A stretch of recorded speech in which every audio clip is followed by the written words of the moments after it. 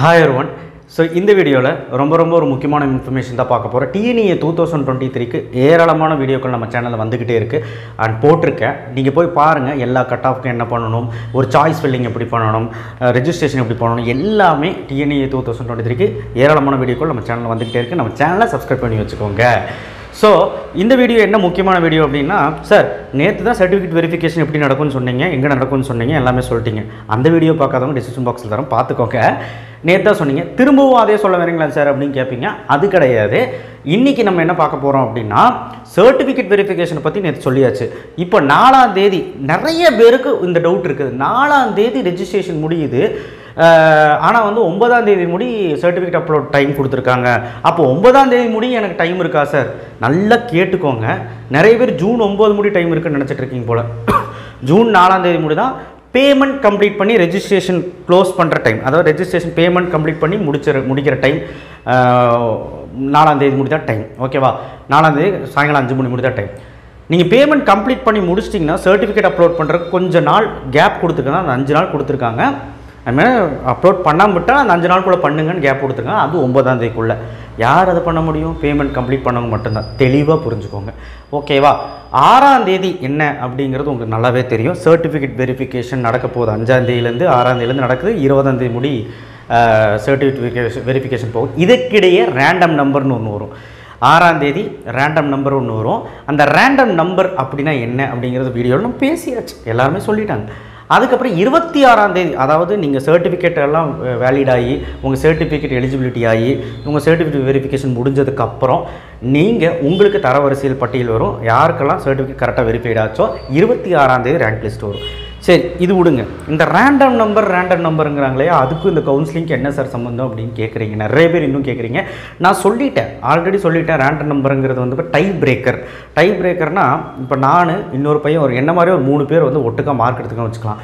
இப்போ போன வருஷம் கூட நூற்றி முப்பத்தி ரெண்டு பேர் வந்து இரநூறு எடுத்திருந்தாங்க கட் ஆஃப் ஸோ அப்போ நூற்றி முப்பத்தி ரெண்டு பேர்த்துக்கும் டை பிரேக் பண்ணணும் சரிங்களா ஃபிசிக்ஸ்லேயும் சென்ட்டோம் கெமிஸ்ட்ரிலையும் சென்ட்டோம் மேக்ஸ்லேயும் சென்ட்டோம் எப்படி போட்டிருப்பாங்க? Date of birth date of birth first seniority பிரகாரம் யார் கொடுக்கலான்னு பார்த்துருப்பாங்க.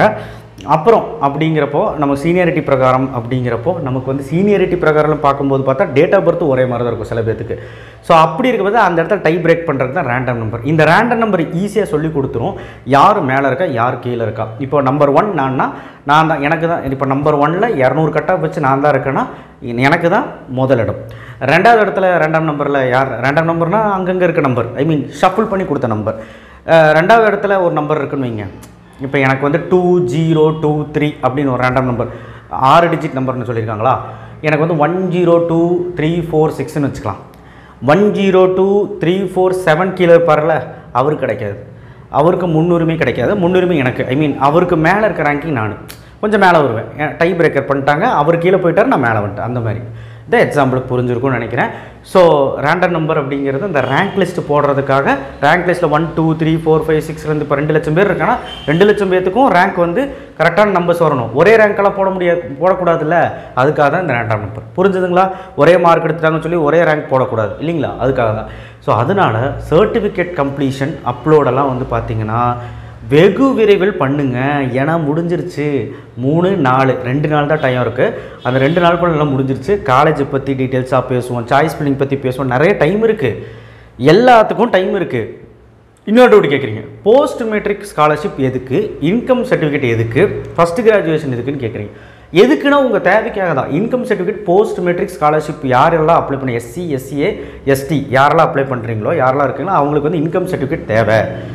ஃபஸ்ட்டு கிராஜுவேஷன் யாருக்கு தேவை அப்படின்னா ஃபஸ்ட் கிராஜுவேஷன் எஸ்என் கொடுத்தா தேவை. இல்லை நோன் கொடுக்க நீங்கள் சர்டிஃபிகேட் இல்லை நோன் கொடுக்கணும் அப்படின்னா நீங்கள் பேக் போய் கொடுத்துக்கலாம். இல்லை ஃப்ரீஸ் பண்ணிட்டேன் சார் அப்படின்னா டிஎஃப்சி சென்டரில் இன்ஃபார்ம் பண்ணிக்கலாம் ஒன்றும் பிரச்சனை இல்லை. சரி அப்புறம் கம்யூனிட்டி சர்டிஃபிகேட் யாருக்கு முக்கியமாக தேவைன்னா reservation category BC BCM MBC SC SC ST இவங்களுக்கெல்லாம் கம்யூனிட்டி சர்டிஃபிகேட் தேவை. ஓசிக்கும் தேவை தான் பட் ஓசிக்கு இல்லைனாலும் அவங்க ஜென்ரல்லே இருப்பாங்க. ஓகேவா ஸோ அதனால் பிரச்சனை கிடையாது. ஸோ அடுத்தது டென்த்து லெவன்த்து டுவெல்த்தெல்லாம் வந்து மஸ்ட் அந்த ப்ரொஃபஷனல் அலாட்மெண்ட் மார்க் ஷீட்லாம் இருக்கும். அதெல்லாம் ஓகே டிசி ஆப்ஷனல் தான். ஸ்போர்ட்ஸ் கோட்டாக்கு மட்டும்தான் அந்த சர்டிஃபிகேட்லாம் நம்ம அப்லோட் பண்ணுவோம். எக்ஸ் சர்வீஸ்மேனுக்கு அவங்க கோட்டாலாம் அவங்க அவங்களுக்கு தகுந்த சர்டிஃபிகேட்லாம் அப்லோட் பண்ணுவோம். இதெல்லாம் நமக்கு தெரியும். ஸோ இதில் நிறைய பேர் டவுட் கேட்கணும் இன்கம் சர்டிஃபிகேட் எதுக்கு? இன்கம் சர்டிஃபிகேட் வந்து யார் அப்லோட் பண்ணணும் அப்படின்னா யாரெல்லாம் ஸ்காலர்ஷிப் தேவையோ அவங்க வந்து இன்கம் சர்டிஃபிகேட் அப்லோட் பண்ணணும் மீதி யாருக்கும் தேவையில்லை. எந்த scholarship post matric scholarship first graduation கொடுத்தா கூட இன்கம் சர்டிஃபிகேட் அப்ளை பண்ணுறது நல்லது. சரிங்களா? வேறு எதுவுமே கிடையாது. நீங்கள் எதுவுமே அப்ளை பண்ணலனாலும் பிரச்சனை இல்லை. நீங்கள் எதுவுமே எலிஜிபிலிட்டி இல்லைனா பிரச்சனை இல்லை. உங்களுக்கு வந்து மூணு விஷயம் mandatory tenth twelfth TC optional community certificate அதுதான் வந்து மேண்டிட்டரி ஓகேவா ஸோ உங்கள் ஃபோட்டோ சைன் சிக்னேச்சர் டிஜிட்டல் சிக்னேச்சர்லாம் கரெக்டாக அப்லோட் பண்ணிடுங்க. அவங்க சொன்ன கேபியில் இது வந்து நான் எல்லா வீடியோலையும் சொல்லிட்டு தான் இருக்கேன். நிறைய பேர் டவுட்டு கேட்டே இருக்கேன் அதை பற்றி கொஞ்சம் சொல்லுங்கள் அதை பற்றி கொஞ்சம் சொல்லுங்கள் இன்கம் சர்டிஃபிகேட் பற்றி சொல்லுங்கள் போஸ்ட் மெட்ரிக் ஸ்காலர்ஷிப் பற்றி சொல்லுங்கள் அப்புறம் வந்து ஃபஸ்ட்டு கிராஜுவேஷன் பற்றி சொல்லுங்கள் செவன் பாயிண்ட் ஃபைவ் ரிசர்வேஷனுக்கு எதாவது வேணுமான்னு கேட்டிருக்கீங்க. செவன் பாயிண்ட் ஃபைவ் ரிசர்வேஷனுக்கு வந்து கண்டிப்பாக தேவை இருக்குது போனாஃபைட் சர்டிஃபிகேட் ரெடியாக வச்சுக்கோங்க. உங்கள் ஸ்கூல் போய் கேட்டிங்க பிரின்ஸிபல் மூலியமாக எழுதி சீல் பண்ணி தருவாங்க. அதை நீங்கள் கொஞ்சம் ரெடியாக வச்சுக்கோங்க. பட் இப்போதைக்கு யாரும் கேட்குறதில்ல செவன் பாயிண்ட் ஃபைவ் ரிசர்வேஷனுங்கிறது இஎம்ஐஎஸ் நம்பர் அடித்து பார்த்தாலே அவங்களுக்கு தெரிஞ்சிடும் இஎம்ஐஎஸ் நம்பரும் எல்லாம் கேட்குறீங்க டவுட்டு எது சார் அடிக்கணும்? நியூ இஎம்ஐஎஸ் நம்பர் அடிங்க. பன்னெண்டாவதுக்கு வந்து நியூ இஎம்ஐஎஸ் நம்பர் அடிங்க. ஸோ அதனால் பேனிக் ஆக வேண்டாம். எதுனாலும் டிஎஃப் சென்டரும் ஃபோன் பண்ணி கேட்டால் தெரியும். அதுக்கு தான் காலையில் வீடியோ போட்டால் யாரும் மதிக்கலை. ஸோ அதை போய் நீங்கள் அந்த டிஎஃப்சி சென்டருக்கு உங்கள் உங்கள் அருகாமல் இருக்க டிஎஃப் சென்டருக்கு கால் பண்ணி கேட்டிங்கனாலே டவுட்டு கிளியர் பண்ணுறாங்க நான் கூட ரெண்டு மூணு மூணு வாட்டி ஃபோன் பண்ணி பார்த்தா டவுட் கிளியர் பண்ணாங்க. ஸோ அதனால் பேசிக்காக நான் என்ன சொல்கிறேன் எதுக்குமே பேனிக் ஆகாதீங்க. ஏதாவது வேணுமா தேவையா இல்லையா அப்படிங்கிறது அவங்கள்ட்ட ஃபோன் பண்ணி கேட்டிங்கனாலும் சொல்லுவாங்க. நம்ம சேனல்லையும் சொல்லிட்டு நம்மளை மாதிரி ஏராளமான சேனலும் சொல்லிட்டு இருக்காங்க ஸோ கண்டிப்பாக இந்தந்த முக்கியமான விஷயங்கள்லாம் தேவை அப்படிங்கிறது புரிஞ்சுக்கோங்க. ரேங்க் லிஸ்ட் ரேங்க் லிஸ்ட் வர்றதுக்காக தான் இவ்வளோ போராட்டமும் இந்த ரேங்க் லிஸ்ட் வந்தால் தான் நீங்கள் எலிஜிபிள் ஃபார் கவுன்சிலிங் அப்படிங்கிறது ரொம்ப ரொம்ப உறுதியான ஒரு விஷயம். ஏன்னா ரேங்க் லிஸ்ட் வந்துட்டாலே நீங்கள் ஓ ஓகே உள்ளே வந்துட்டீங்க. உங்களுக்கு அப்புறம் தான் ரவுண்டு ஷெடியூல் வரும். சரிங்களா? ரவுண்டு ஷெடியூல்குள்ளே தான் சாய்ஸ் பில்லிங் இருக்கும். சாய்ஸ் பில்லிங் டேட் இருக்கும். இதெல்லாம் நம்ம வந்து போக போக பார்த்துக்கலாம். நிறைய வீடியோக்கள் வந்துக்கிட்டே இருக்குது. ஸோ அதனால் செவன் பாயிண்ட் ஃபைவ் ரிசர்வேஷன் மாணவர்கள் பயப்பட வேண்டாம். எந்த ஒரு ஆவணமும் இப்போ செலுத்த வேண்டாம். அப்படியே நீங்கள் வந்து போனஃபைடு வச்சுருந்தா அப்லோட் பண்ணிக்கோங்க. போனஃபைட் இல்லைன்னா நீங்கள் ஒரு வார்த்தை டிஎஃப் சென்டரில் கேட்டிங்கன்னா போதும். நீங்கள் இமெயில்ஸ் நம்பர் அடித்து பார்த்தீங்கனாலே நீங்கள் ஆறாவது வந்து பன்னெண்டாவது வரைக்கும் கவர்மெண்ட் ஸ்கூலில் தான் படிச்சிருக்கேன் கவர்மெண்ட் எய்டடில் படிச்சிருக்கீங்களா? இல்லை கவர்மெண்ட் ப்ரைவேட்டில் படிச்சிங்கன்னா என்னன்னு தெரிஞ்சிடும் தெரிஞ்சாலே அவங்க வந்து அப்ரூவ்டாக இல்லைங்கிறத சொல்லிடுவாங்க செவன் பாயிண்ட் ஃபைவ் ரிசர்வேஷன் மாணவர்களுக்கு அவங்களுக்கு தனியாக கவுன்சிலிங் நடக்காது. ரெண்டு பேத்துக்கு ஒட்டுக்காக தான் கவுன்சிலிங் நடக்கும் செவன் பாயிண்ட் ஃபைவ் ரிசர்வேஷனுக்கு என்ன லக்குனா ஜென்ரலி அட்டன் பண்ணுவாங்க. செவன் பாயிண்ட் ஃபைவ் ரிசர்வேஷனும் அட்டன் பண்ணுவாங்க. அதாவது இதுக்கும் ரேங்க் வரும் அதுக்கும் ரேங்க் வரும். இதுக்கும் ரவுண்ட் ஷெடியூல் வரும் இதுக்கும் ரவுண்ட் ஷெடியூல் வரும். எதுக்கு? ஜென்ரலுக்கும் வரும். இப்போ நான் செவன் பாயிண்ட் ஃபைவ் ரிசர்வேஷன் கீழே இருக்குன்னு வைங்க. எனக்கு ஜென்ரல் கவுன்சிலிங்க்கும் என் நேம் இருக்கும் ரேங்கிங் இருக்கும் செவன் பாயிண்ட் ஃபைவ் ரிசர்வேஷனுக்கும் ரேங்கிங்கும் ஷெடியூல் இருக்கும்.